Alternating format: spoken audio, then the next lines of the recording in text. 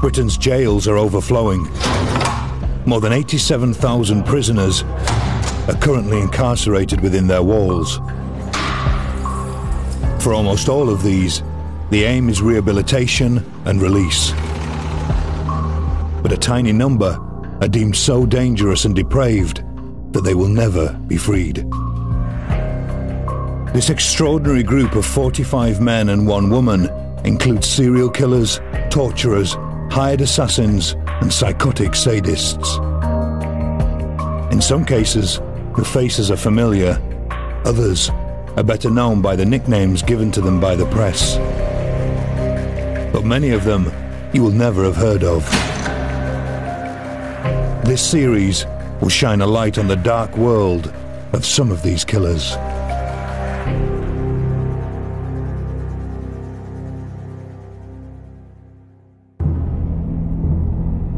Tonight's programme looks at two men from possibly the most devious group of all offenders, the ultra-violent sexual predator.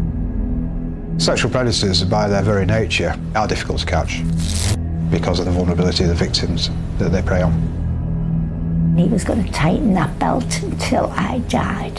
He was going to suck all the life out of me. None of us had dealt with a case like this before. It was a blood-splattered murder scene. Serious sexual offenders don't stop. The high that they get from it is just too addictive.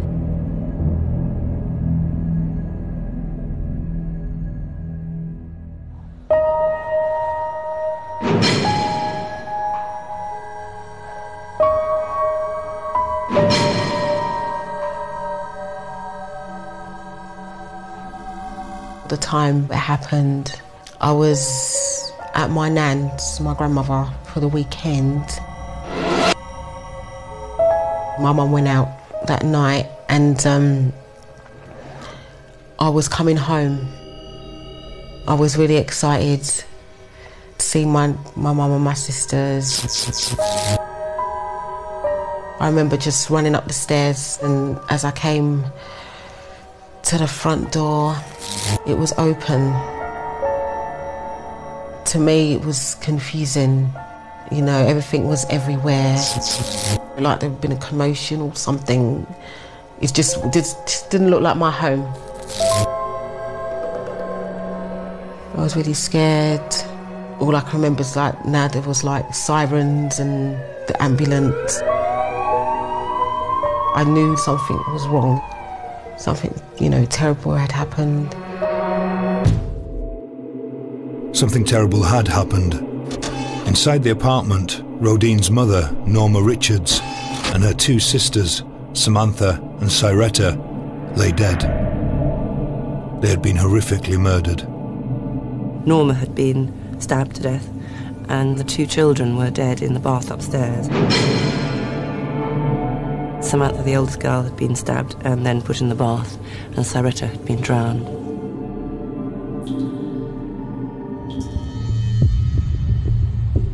Norma lived in this block of flats with her partner Keith Cunningham. His brother was this famous footballer, Laurie Cunningham, the first black player to play for England and the first British player ever to sign for Real Madrid. One weekend in mid June 1982, Norma was alone in the flat with her two older daughters, nine year old Samantha and seven year old Cyretta, as Keith was in Madrid visiting his brother Laurie. With her youngest daughter, four year old Rodine, being looked after by Grandma, Norma felt like socialising. She put the children to bed on the Friday night, and quite late at night, about half 11 midnight, she went out with her friends to a series of nightclubs, the last being the Four Aces, which was in Hackney, which is about 500 yards away from her house. The Four Aces was a legendary London nightclub and a mecca for the city's West Indian community. Norma Richards was last seen leaving the Four Aces on her own just before five o'clock. Uh, she walked the 500 yards home and she was never seen alive again. On the Monday morning, her mother-in-law Mavis Cunningham arrived home with Rodine, the four-year-old daughter. she got in, and the poor lady found Norma's body um, on the floor of the sitting room. Her dressing gown was nearby, and her pants were next to her, and it was clear that there'd been a violent struggle in the sitting room because furniture had been overturned. Norma's body was partially hidden by the upturned sofa, we believe the killer forced entry, and then he raped and murdered her. Perhaps Samantha, hearing noise, had come down, and he felt he had to kill both the children to protect himself.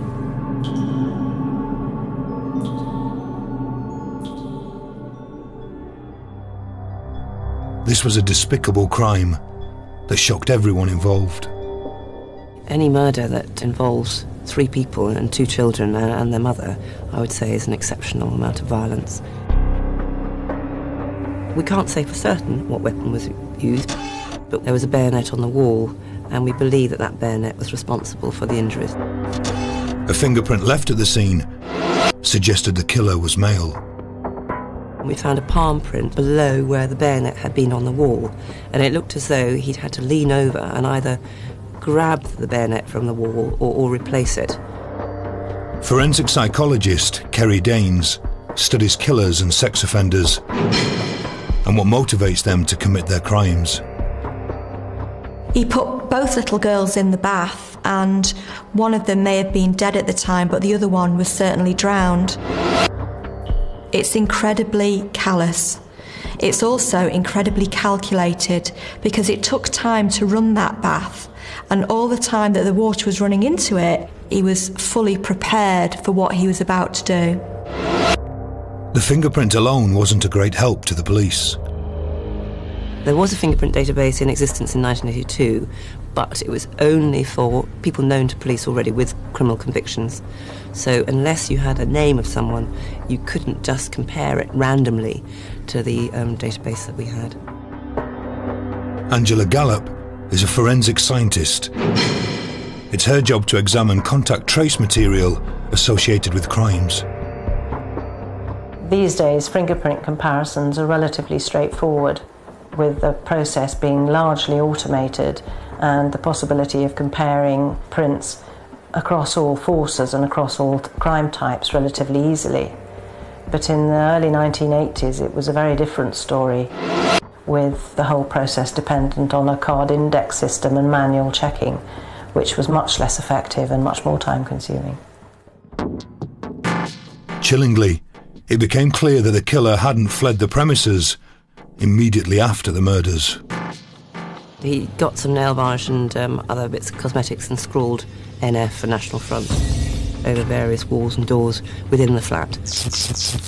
The National Front was a far right nationalist organisation opposed to multiracialism and immigration, social issues that were leading the news in 1982. The murders came just months after the Brixton riots, the most significant outbreak of civil disorder in 20th century London. And tensions were running high. But with no sign of a forced entry, police quickly discounted the theory that this was a racially motivated killing. I think most people realised that it was a red herring. The police certainly believed it was a red herring, uh, and the family themselves also believed that it, it was nonsense. It wasn't a racist act at all. But it did reveal a lot about the killer. Cold, calculating. He obviously had time after he'd killed the two girls and um, Norma to go around the flat and plastering these uh, initials all over the walls and the doors. If he was shocked or horrified at what he'd just done, there's no indication of it. Because straight after the killings, his thoughts are very clearly only for himself. He's conniving and he's manipulative, even under what should be extreme stress. In my view, that was a, a very cool act of a, a very violent man. Despite a massive police investigation, no suspect emerged for the triple slaying. Although three of their own had been murdered, police felt the black community wanted little to do with them, and information was scarce. The investigation did have its problems back in 1982. There was a certain uneasiness with the community and a, a certain level of, of, of mistrust on both sides. The crime remained unsolved for 27 years. Until a journalist researching a book on Laurie Cunningham read about the murders. I made an inquiry under the Freedom of Information Act for some information about the case. Little did I know, however, that that particular action had triggered a cold case review at Scotland Yard that ultimately led to the detection of the killer.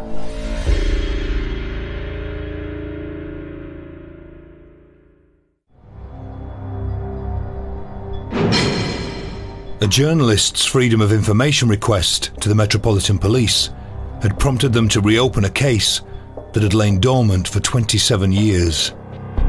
A triple homicide of a mother and two young daughters in 1982.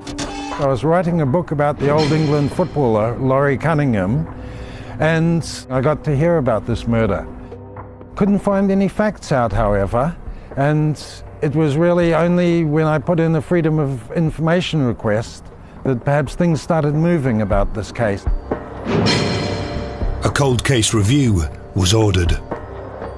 Cold case reviews are investigations into crimes, mainly murder, that occurred many years ago.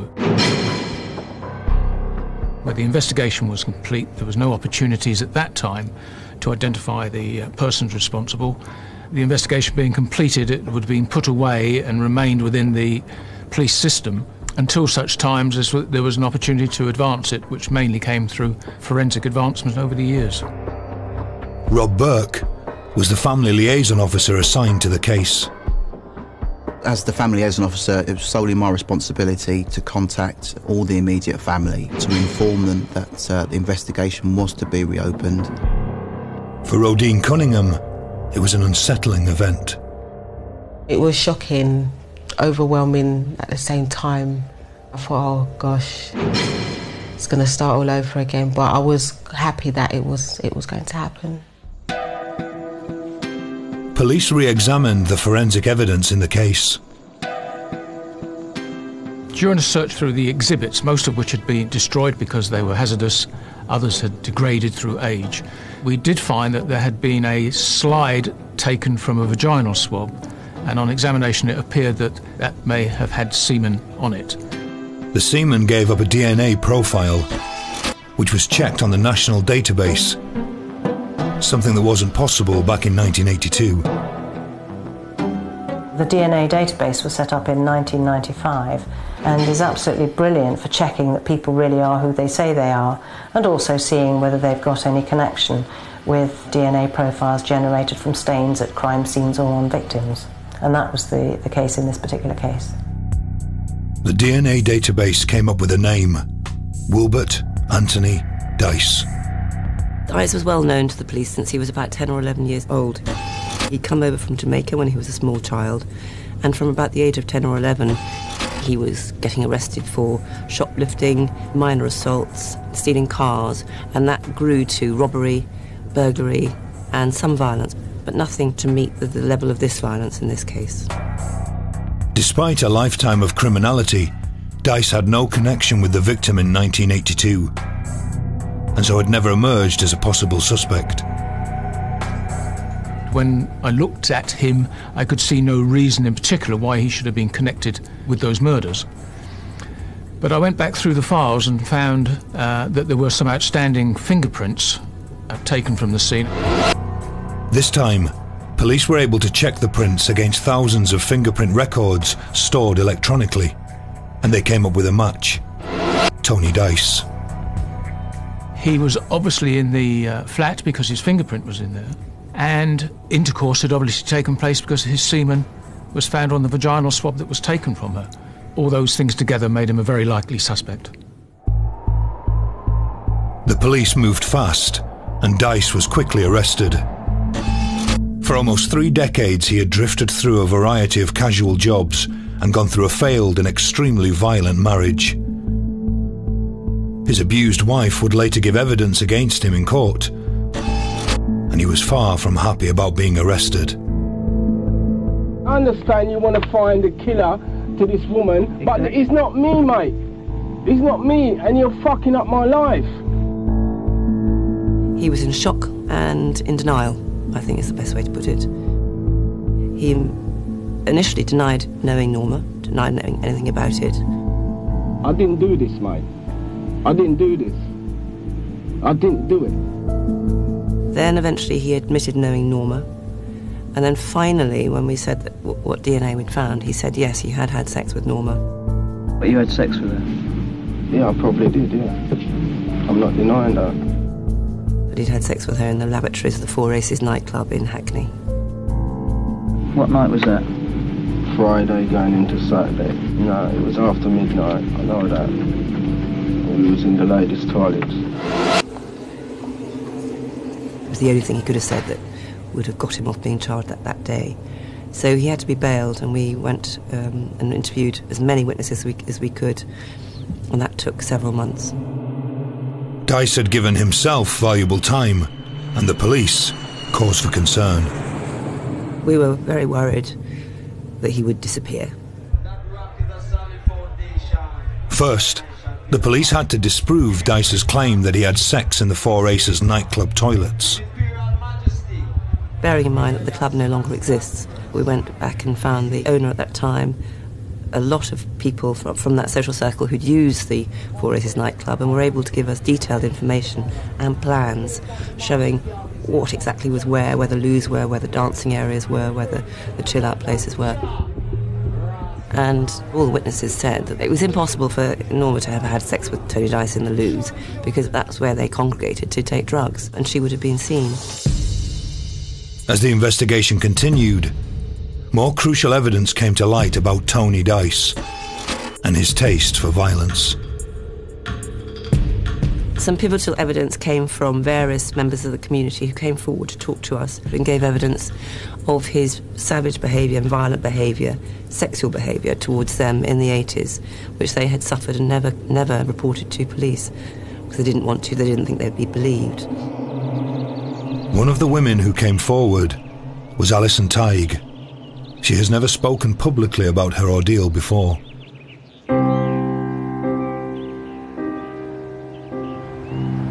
In 1986, I lived in a small flat in Hackney with one child who was around about 18 months old, and I, I was heavily pregnant at the time as well. I was in bed one night. It must have been in the middle of the night. The door knocked.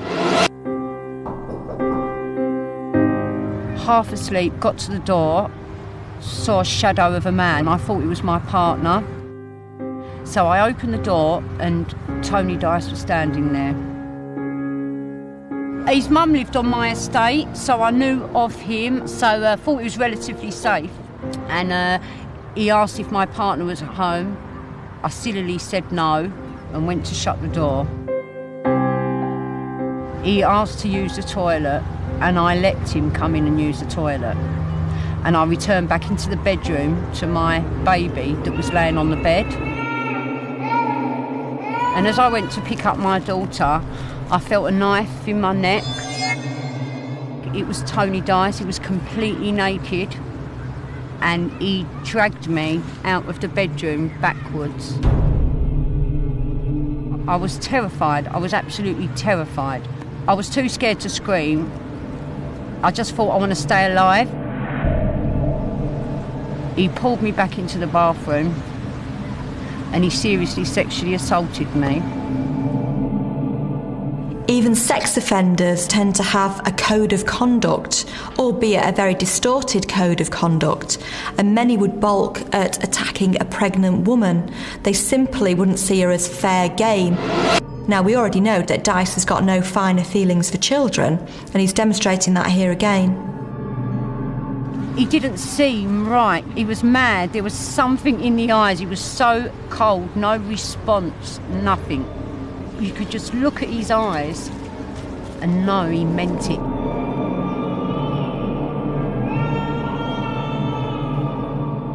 I went through years of thinking I should have screamed, run for help. But now, looking back, I survived because of the way I dealt with that. I just complied. I know it sounds terrible, but I complied because I wanted to stay alive. I was thinking of my baby in the bedroom. I am quite convinced that if Alison hadn't complied with Dyce, she wouldn't be here to tell the tale. There's no right or wrong way to respond to being the victim of rape. It's very, very common for women to freeze. They're so terrified that they can't fight back. She did what she felt that she needed to do to survive the attack, and luckily for her, it worked. I didn't go to the police at the time and go through all that because I was scared. But it did affect me in a big way, a big way.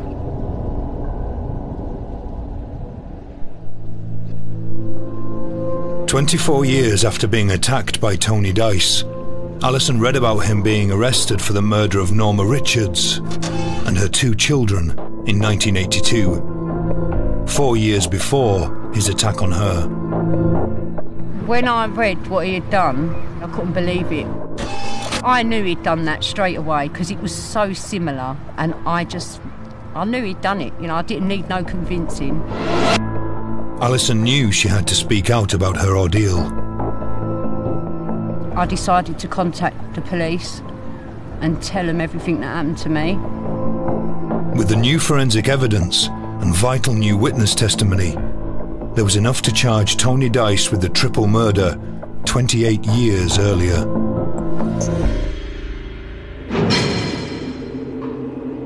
I was scared about the trial. Just being being in there with him, I was um, dreading it a lot. When I saw Dyce for the first time, I was angry. I was really, really angry. I was just looking at him and just saying to myself, you know, you took my family away from me. You know, what did they ever do to you? Dyce seemed unfazed by what was happening.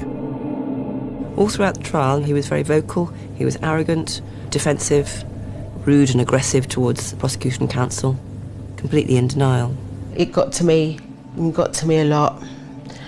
You know, he's just his posture, his body language, you know, as if to say, oh, you know, I'll be out of here like in 10 minutes, you know, it's not going to go on for long. In fact, the trial lasted three weeks. I was nervous, thinking that, oh my gosh, if he ever walks, you know, that would be it for me. I don't think I'll be able to cope. Dyce didn't walk. He was found guilty and told his crimes were so extreme that he would never be released from prison. When we got the call back and it was like guilty, I thought that's it, I can I can finally move on now. You know, all that sadness, everything's been taken away. Tony Dyce had been proven to be a sadistic sexual predator who habitually carried knives. Tony Dyce is a very dangerous man. Throughout his criminal career, he has used violence. I believe his modus operandi was to prey on lone women or whose partners were away at the time, and that's exactly what he did with Norma Richards on that night. He's arrogant, he's not shown one shred of a remorse, and I'm extremely pleased that he's behind bars and he will not be released. Dyce is a serial predator and he's prepared to go to the most extreme of lengths simply to meet his own twisted needs. To identify him some 28 years later and bring him to justice is, for the family, it brings maybe a little closure, one hopes. I'll never forgive him for taking away my family and what he's put me through. Dyce has got what he deserved, that he won't be let out. It's going to take some time, but at least I can get my closure and get my life back. It took 27 years before Tony Dyce's name emerged as a possible suspect. In another murder involving an ultra-violent sexual predator, police had the name of the likely killer within minutes of finding the victim. But once again, bringing the killer to justice would still be a far from simple task.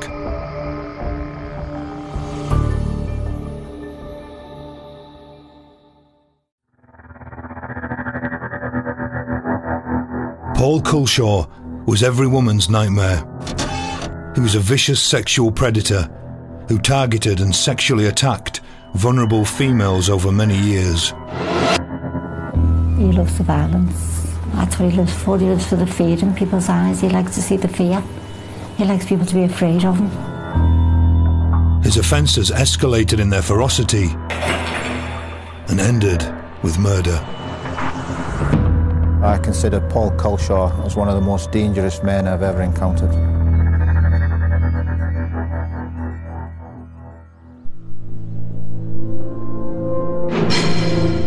23-year-old Claire Benson Jowry lived most of her life on the Tough Ryelands estate in Lancaster.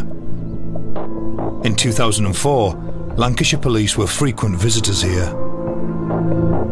Like any estate in any city, the majority of people who live in the Ryelands estate in Lancaster are decent, law-abiding people. But in 2004, the estate was well known to the police for criminal activity, drug use and drug supply. There were a fair share of people living there who had a criminal background. There was drugs on the estate uh, at that time, and Claire was known to be a, a user of heroin. Her habit was probably 10 to 20 pounds a day.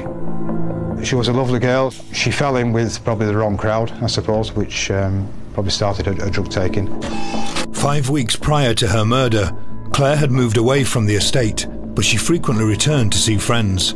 It was on one of these return trips to the estate that she disappeared. She actually went missing on the 20th of June, which was a Sunday night. Um, she'd been with a friend. At 10 o'clock, Claire left the house. A friend at the house assumed that she was actually going to score some heroin and expected her to be back 10 to 15 minutes. A friend stayed up till about 1.30 in the morning. Claire hadn't returned. In fact, she was never seen alive again. It wasn't unusual, I suppose, because of a, a, chaotic lifestyle for her to be missing for a day or so. But once that day went to two days, to three days, to four days, her boyfriend contacted the police to notify us that um, she was missing. Three weeks later, there was a shocking development. Some neighbours of Paul Culshaw, uh, who lived in the flat just below him, uh, contacted the police to say that they hadn't seen Paul Culshaw for three weeks, uh, that there was a smell coming from his flat and there was a lot of fly activity look around the windows. I attended that scene and found the door to be locked, but there was a very strong smell emanating from the room. Uh, I forced the door open and was confronted by Claire's body. I've been in the police for over 27 years and you see a lot of bodies who have been subjected to violence. But I must say, in my career, I would describe it as the worst scene that I've ever seen, and it's a, a memory that I'll never forget. She was lying there in a very advanced state of decomposition. There was a lot of um, flies present in the room. Claire had lain dead for three weeks and this posed major problems for the police. The time between when somebody dies and when their body is discovered can matter a great deal in terms of what forensic evidence can be recovered from them. And obviously, the longer the period of time, the more the body has an opportunity to decompose. And as part of that decomposition process, you can get um, flies and maggot infestation, which can make things very difficult. Some forensic evidence was retrieved from the body. We did find some sperm heads in the vaginal area, which was useful to show that there'd been some sexual activity with Claire around the time of her death. And that wasn't all. But what we did see was what looked like a handle of a fork around a neck area. What it was effectively was a shoelace that had been tied around the neck fairly tight then the fork had been inserted and the two loose ends of the lace had been wound up. It started off at 12 inches around her neck and it actually ended up at about eight and a half inches. Obviously a very large indentation around the full circumference uh, of her neck. Claire hadn't only been strangled. Also in the premises was a homemade bat and that was sent off to the Forensic Science Services we were able to ascertain it was two hairs on the bat with follicles attached. The two hairs were from Claire. When a blunt instrument such as a bat is used to strike someone over the head, then the sort of things we look for are hairs and skin tissue and blood which might have been transferred. In this case, hairs were found on the bat that had been pulled out of the scalp because they still had a bit of scalp tissue attached to them, and this indicated that the bat had been used to strike the victim on the head. Claire had clearly suffered a brutal and prolonged attack. She's been assaulted. She's had a sexual offence committed against her. And then he's, he's strangled her um, using this, this ligature around the neck. In my view, this was a, a particularly nasty, um, sadistic murder of uh, a young lady who really caused no harm to anyone. Culshaw's violence against Claire is far greater than needed just to overpower her. He's used a makeshift garrote. Now, garrotes have a history of being used as torture devices. And I believe that's what he did. I believe that he tortured her. I don't believe that her death would have been a slow one. I feel that he's a sexual sadist. Claire's body was found in Paul Culshaw's flat, which made him the number one suspect. We know that Claire used to use Culshaw's flat to smoke heroin. Uh, he was a cannabis user. He didn't use heroin at all. He would allow Claire and other people, particularly females, to use his flat to either inject or to, or to smoke. We know that she did have some heroin that day. She had some in the morning, and we know that she had some left. So I believe she went down there because she wouldn't um, expose a friend to the danger of smoking it in her home. She went there simply to use that heroin and then return home. Um, but, but sadly, um, that didn't happen. As police ran background checks on Culshaw, they discovered some chilling previous convictions. In 1985, in Upholland in Wigan, he attacked a 45-year-old woman in uh, our own home. At that time, he was armed with a knife and a broom handle. He uh, subjected her to a rape and attempted to rape her two more times before he left her house, threatening to return again if she contacted the police. An horrendous attack, um, and he was caught fairly soon after that and sentenced to three and a half years. Shortly after his release in 1988, Culshaw entered a woman's house in Skelmersdale, 27-year-old lady who was living there with her two small children. There he subjected her to a very serious uh, sexual assault and tried to kill her before her uh, small child interjected and saved her life. The woman Culshaw attacked was Maureen Collins. On the night it happened, I was in bed. I heard a noise downstairs and I went down. And he was standing there with a knife in his hand. And I started to scream. But the scream also went inwards. And as the scream went in, I went down to the floor. Begged and begged and begged, please, please, please, please me. Never in my wildest dreams dreamt of what he was going to do. Maureen was subjected to a truly horrific sexual assault. But what happened after the attack was even more frightening. It just went on for such a long time, and then after that, I remember him getting dressed. And when he started to stroke my face, gent- gently, gent- gent- gent- I'm sorry, I'm so, so sorry. Grabbed me there and just tried to snap my neck. He went for here, and I could taste the blood in my mouth. And he was punching me, and I was clawing at him, but I wasn't making a dent. And so he took his belt off, put it around my head, and I managed to put my mouth out and grab the belt in my mouth. So then he started tightening the belt. And he was going to tighten that belt until I died. He was going to suck all the life out of me. He still wanted me dead. He just wanted me dead. The only thing I saved my life was my son, when my son come. Culshaw fled the house, but he left behind a devastated victim. My life's destroyed. I don't have a life. My brain is actually now shutting down because of all the trauma. I won't take it.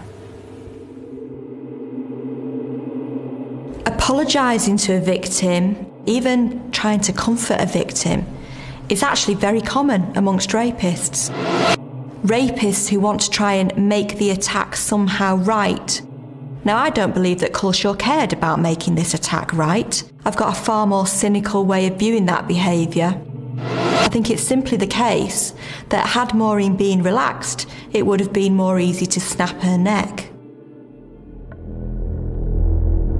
Culshaw was arrested a month later after attempting to attack yet another woman and trying to kill her husband with a spade when he came to her assistance.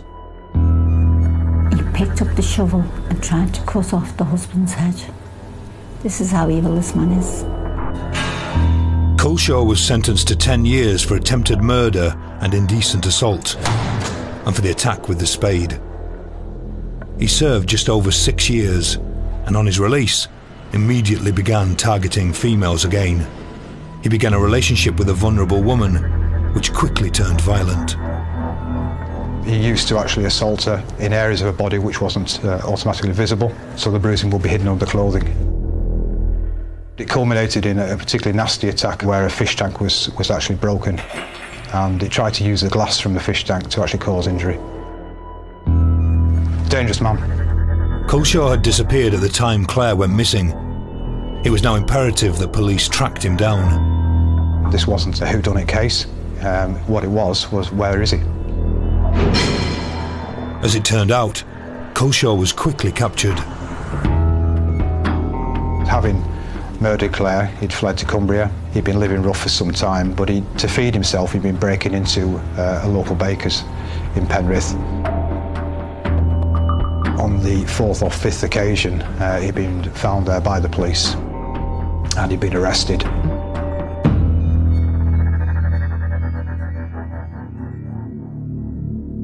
Culshaw refused to cooperate with the police. We know that Claire died through strangulation. Do you have anything to say about that? No comment. But the evidence against him was overwhelming. In the bedroom, close to Claire's head, were a pair of shoes. One of the shoes had a lace in, one of the shoes didn't. Claire had been strangled with a shoelace. Those shoes belonged to Culshaw. They were in his bedroom, they were his size, they were his shoes. Culshaw was charged with murder. In February 2005, his trial began at Preston Crown Court. It was to be a quite remarkable case, and Lancashire police would make legal history in their bid to ensure his conviction.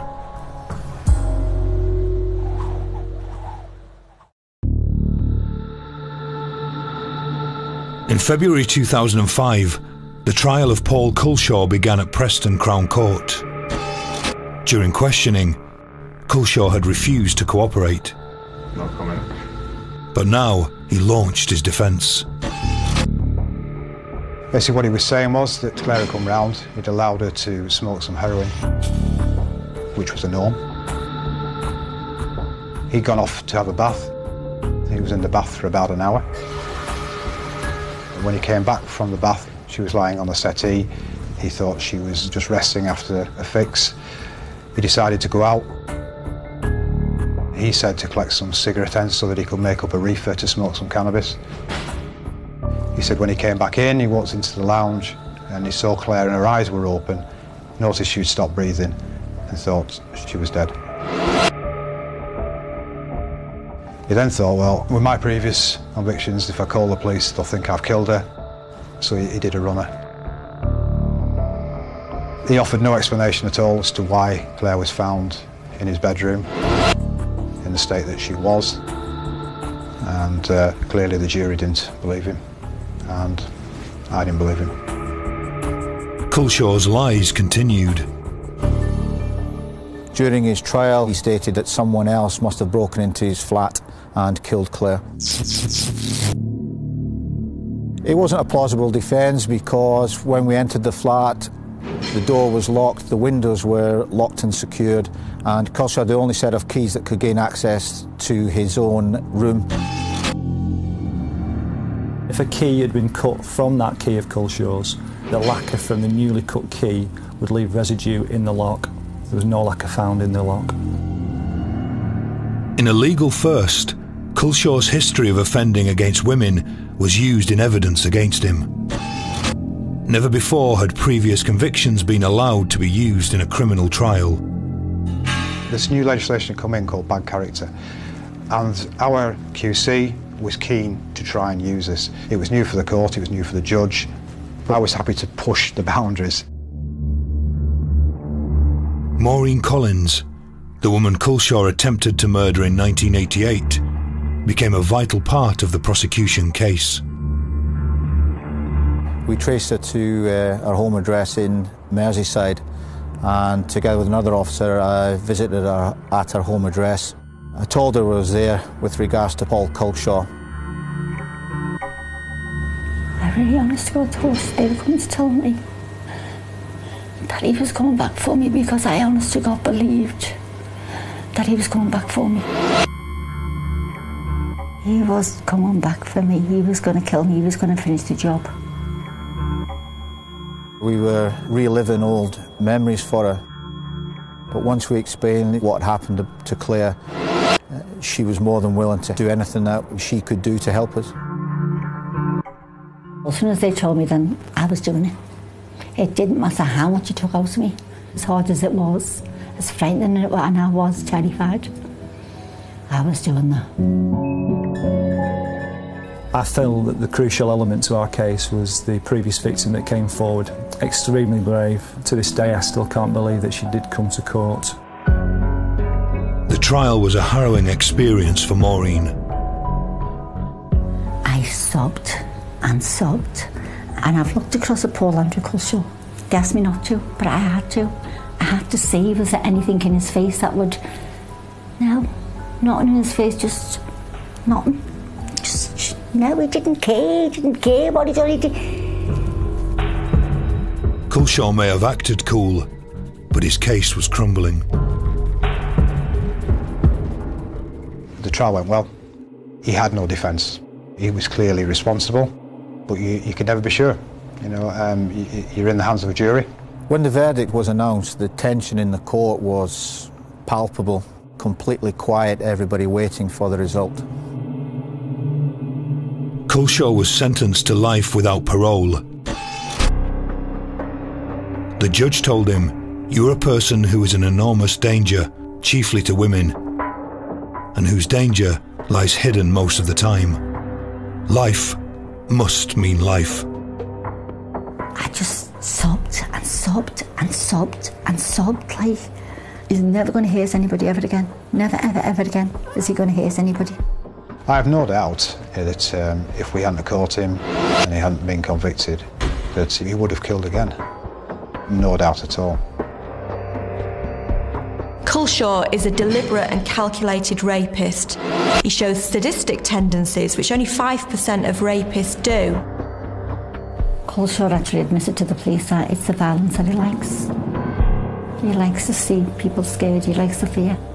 It's not the rape, it's not anything else he gets off on, it's actual violence. That's how he operates. That's how he gets his kicks. Rape is very, very rarely about the sexual act itself. Culshaw clearly needs to express his anger, his power, his dominance in aggression and maltreatment of his victims, and it's their anguish, it's their distress that's eroticised for him. Culshaw's a very dangerous man. It's a great relief that he's no longer able to walk the streets.